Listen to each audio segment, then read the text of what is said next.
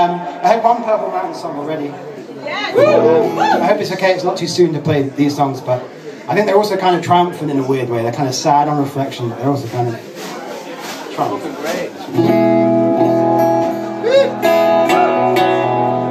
That's why it's called That's Just the Way That I Feel.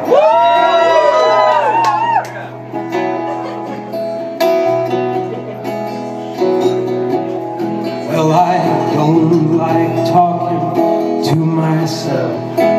Someone's gotta say it. I mean, things have not been going well.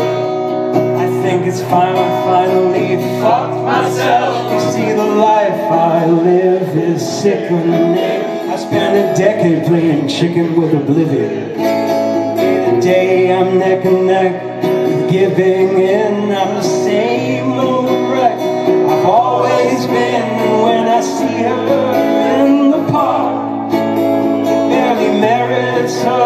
a remark. How we stand the standard distance, distance strangers stand apart. Of course, I've been humbled by the void. Much of my faith has been destroyed.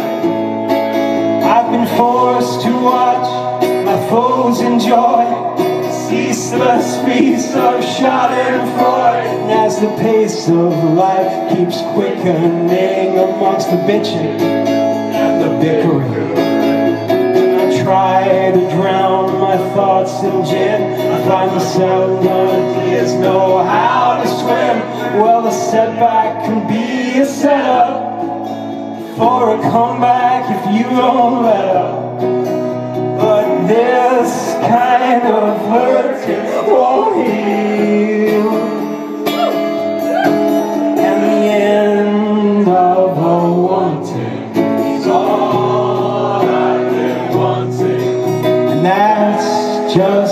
Way that I feel.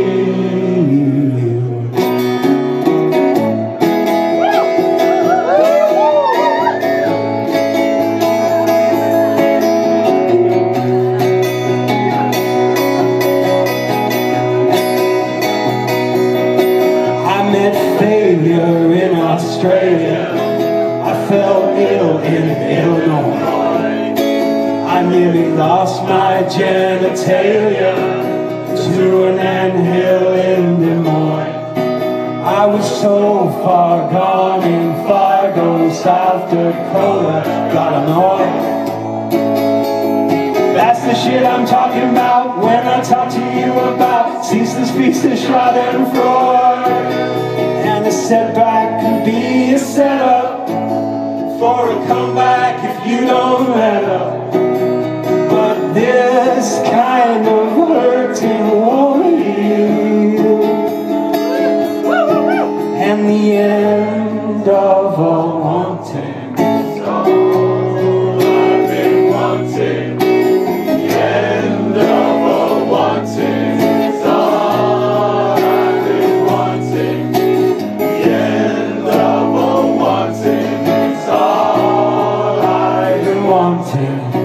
And that's just the way that I feel.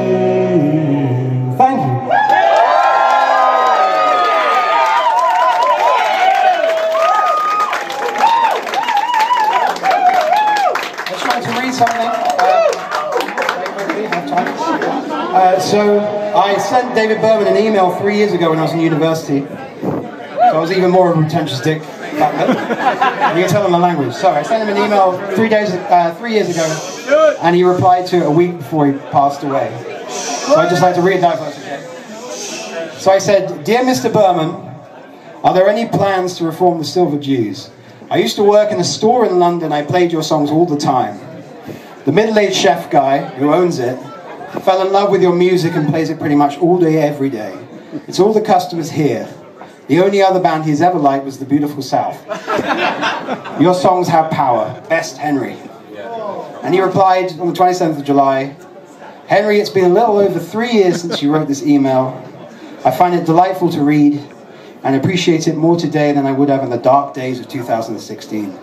Thank you, your kind letter scored a direct hit on my heart. David Berman. And I think that. And I think that shows what kind of a guy he loves. Thank you.